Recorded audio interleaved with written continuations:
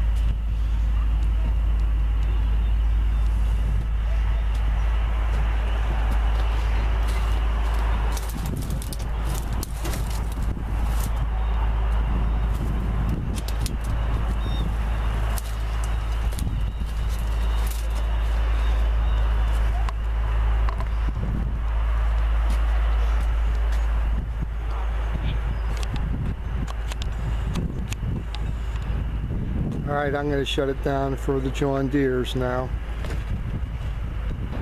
Maybe I'll get the front of these a little bit more, these big ones.